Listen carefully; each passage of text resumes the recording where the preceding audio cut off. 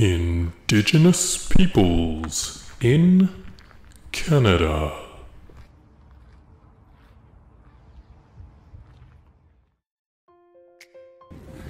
Hey guys, today we came all the way to the Museum of Anthropology, where we're going to try and see if we can find my friend Stefan, and we're going to learn all about Indigenous people in Canada. Now, Indigenous people means people who lived here long before the Canadians did.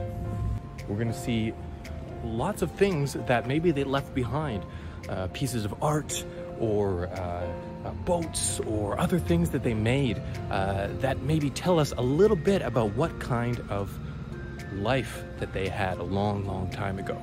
So we're gonna see some cool things and we're gonna learn a little bit. So come on, let's go see if we can find Stefan.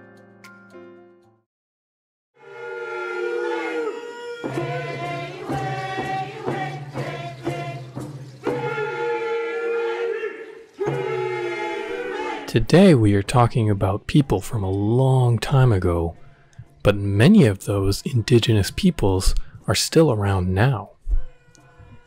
Many still remember their old traditions and can perform a song or dance.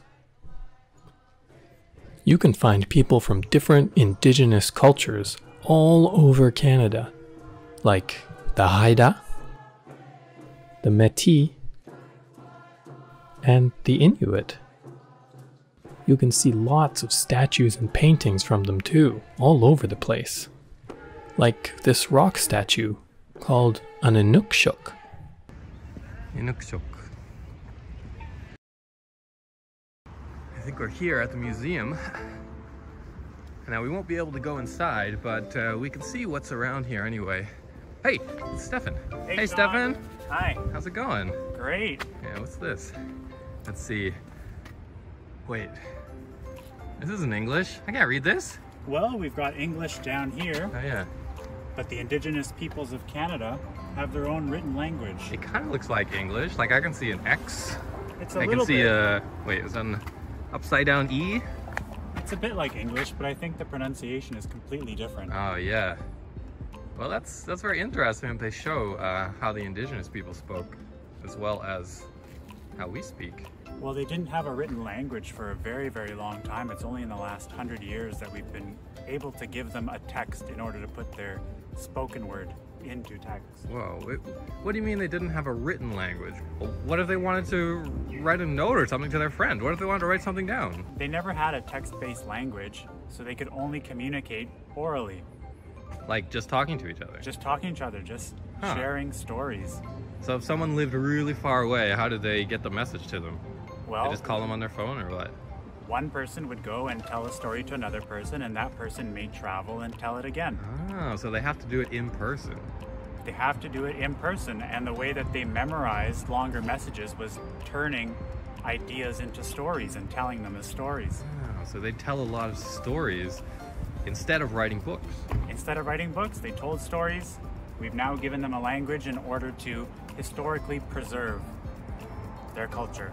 Wow, that's cool. All right, well, uh, why don't we head down to the museum and see what we can see? Sure, let's go. Let's go.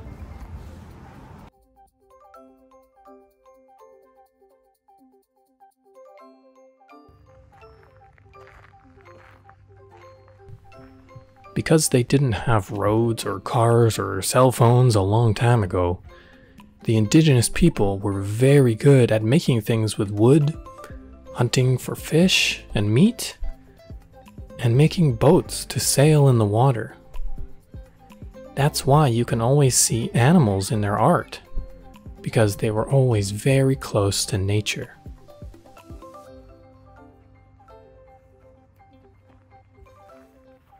Hey look, we found a totem pole! Ah, it's big. Now, what have we got on there? Totem poles usually tell stories of ancestors and legends. Hey, like the stories you said before. Yeah, like the stories. Um, you can see animals carved into these ones, for yeah. example. What is that? This is probably a frog. Yeah, probably, yeah. This might be a wolf or an eagle or something. We're not exactly sure what all the animals are, These are really, really old, right? They made them a long, long time ago, so we don't know exactly. These used to actually be very colorful and very painted, but as time goes on, the paint falls off. There's a bird up there. Yeah, it looks like a raven at the very top. Just a bunch of animals on top of each other. Wow. Where do you think they would put these?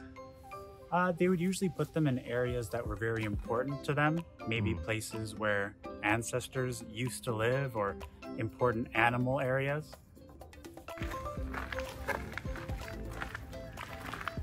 You can see the museum here showed us some pictures of what it might have looked like a long, long time ago. You can see so, so many houses, totem poles, boats for fishing. There's a whole village.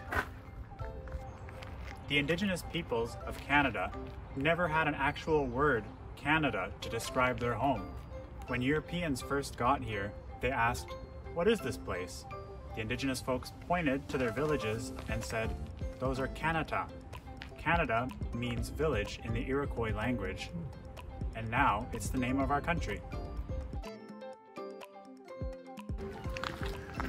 All right. Well, we saw lots of cool stuff. Uh, thanks, Stefan, for uh, being our guide today. No, happy to be here. That's great. Um, so uh, I guess I'll see you around, and uh, maybe next time we can see some other cool things like uh, Inukshuk or something like that. Absolutely. Looking forward to it. All right, bye. Bye. See ya.